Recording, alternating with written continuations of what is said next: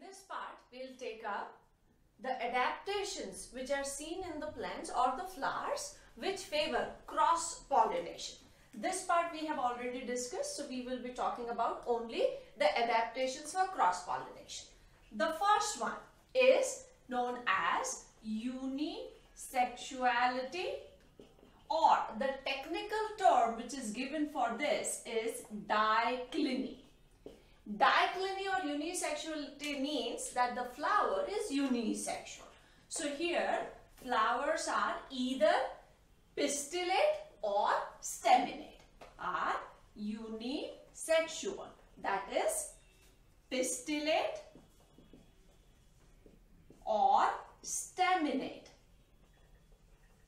The examples of the plants which show this kind of adaptation castor, mulberry, papaya. These are certain examples where we find unisexual flowers. The second adaptation is known as dichogamy. Dichogamy means maturation of male and female reproductive parts at different times. In case of adaptation for self-pollination, we said that both the sex organs, they mature at the same time. Here, the maturation time is different. So, if male sex organ develops first, then it is known as pro protandrous flower or the condition is known as protandry. Here maturation of male and female sex organs is at different times. So protandrous means the male reproductive part matures first Examples of protandrous. Here, the examples where the male reproductive part will mature first. That means anthers will mature first, pollen grains will be formed first. If at this time the pollen grains go and fall on the stigma of the same flower, still it is protandrous. That means the female sex organ is not fully formed or the egg is not formed. So even if pollen fall on the stigma, not ready. So there would be no self-pollination or self-fertilization. So examples of this we will write cotton, okra, okra is ladies fingers, cotton, salvia. These are some examples where protandrous flowers are seen. The second one is protogynous protogynous. Protogynous means the female part matures first.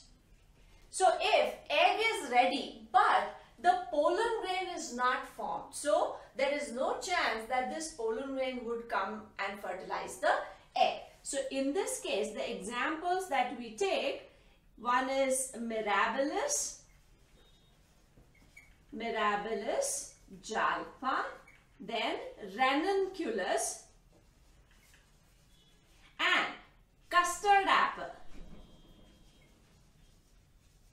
So these are some examples of protogynous flower. So this is again an adaptation to favor cross fertilization or cross pollination. The third adaptation is known as heterostyle. Hetero styly. Heterostyly means the flowers have or flowers are of different types where the length of the style is different. Two examples here. One is evening primrose and the other is oxalis. In case of evening primrose, there are two types of flowers which are produced whereas in case of oxalis, there are three types of flowers produced. And these flowers have been given names. Let us draw these flowers. Say we are talking of the flowers of primrose. this is the receptacle. In first case, this is ovary, style and stigma. Anthers are attached to filaments which are of a shorter length. That means here the style is longer than the length of the filament. The next case is, let us draw this ovary, style and stigma and the anthers are attached to filaments which are very long. So here there is a difference in the length of the style. That's why they are called heterostylic flowers. Such type of flowers are known as pin flowers and these are known as thrum flowers. In case of oxalis, there are three types. In primrose, only two types, pin and thrum. Here, three. So, there are pin flowers, thrum flowers, and the third would be the normal flower. Normal flower means the length of style and stick, uh, style and filament is going to be same. So, normal flowers. This is also an adaptation for cross pollination because in this case, suppose we make the flower now. Say we are making this kind of a flower. So, the stigma is exposed. It can receive the pollen grains which are coming through any agency. Whereas, when the anthers, they undergo dehiscence, there has to be an agency which is going to take those pollen grains away. In this case, again, if we make the flower like this, the anthers are normally exposed. So when they rupture, pollen grains are going to release outside the flower. And the pollens which are going to come to the stigma, they must be brought by certain agencies. So this is again an adaptation. The fourth uh, adaptation which we uh, see in case of cross-pollinating flowers, one is known as prepotency. Prepotency means if there are two different types of pollen grains coming and falling on the stigma. Say, let us take an example here. We see this in peach and apple. In this case, what happens is, say this is the stigma and this stigma receives pollen grain. The pollen grain which I am drawing with the same color indicates it is of the same uh, plant. Then it will not germinate here. Whereas if the pollen grain is coming from the other plant, then that would germinate first. So prepotency means if the pollen grain with the, from the other plant falls on the stigma, this is going to germinate first.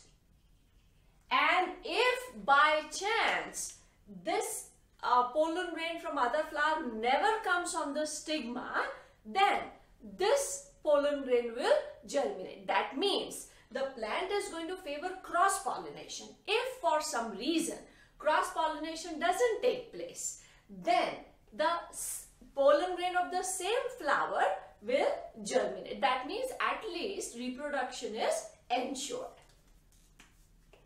Next adaptation is known as self-incompatibility. This is seen in case of potatoes and tobacco plant. In this case, what happens is self-incompatibility means same situation is going to be there a pollen grain from the same plant and a pollen grain from the uh, other plant of the same species. The pollen grain of the same plant will just not germinate. That is, the self is incompatible. That means they cannot go along.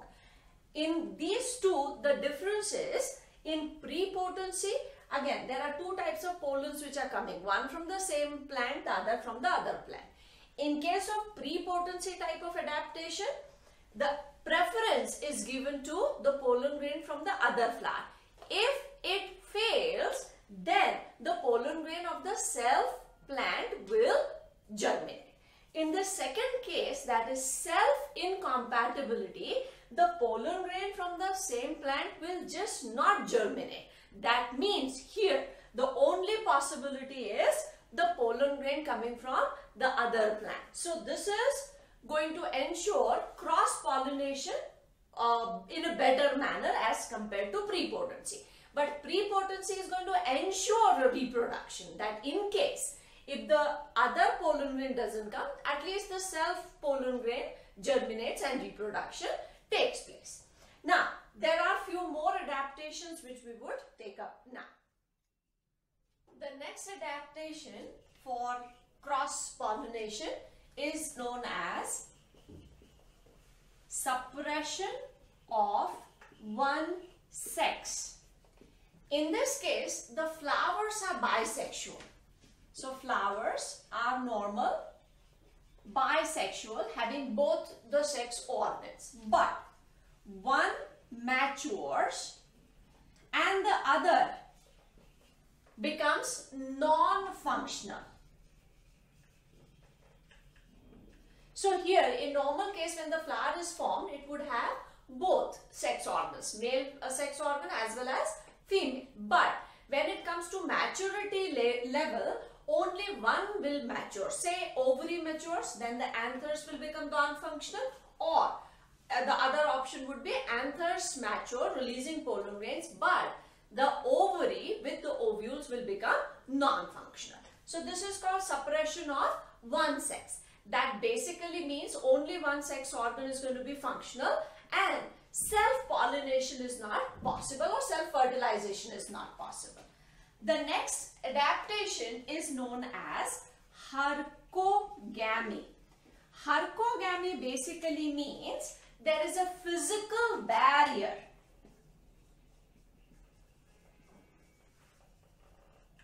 physical barrier between the pollen and the stigma of the same flower. Now this is achieved by enclosing the pollen grains in a bag-like structure. In this case, this is here. In this case, the example is Calotropis.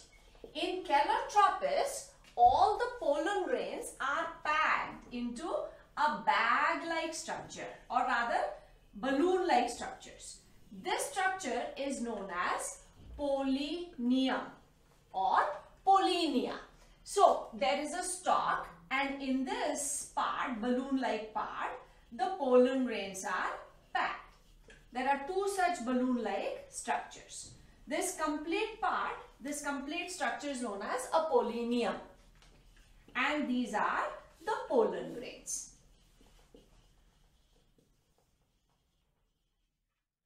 So, in Calotropis, all these pollen grains are released in this packed form that is pollinium. Now suppose this pollinium comes and falls on the stigma of the same flower. Still there is no contact between the pollen grain and the stigma because of this membrane of the pollinium which is acting as a physical barrier. So there is no chance of self-pollination. These pollinia are carried by wind and after or uh, over a period of time, this membrane is going to degenerate, releasing these pollen grains and then if the pollen grain comes in contact with the stigma, then only it will germinate. But by that time, this membrane will be gone, the pollen would reach some other flower. So again, this is an adaptation to ensure cross-pollination. So in case of plants, there are adaptations by which they ensure either self-pollination or cross-pollination. Both have their distinct advantages and at least one disadvantage that is related to their genetic makeup. In self-pollination, it is going to be the mixing of the same gene pool, no variation. Whereas in case of cross-pollination, genetic variation is there which results into variation and helpful in evolution. But in self-pollination, fertilization is ensured, reproduction is ensured. Whereas in case of cross-pollination, cross-fertilization, because this is dependent on an external agency, then there is a rare chance because of which this uh, pollination may not take place. But in the later part, we will start with the adaptations which are seen in plants showing cross pollination according to different agencies. That means if wind is the agency, what are the adaptations? If water is the agency, what are those adaptations which are going to ensure that even if this is dependent on external agency, still pollination and fertilization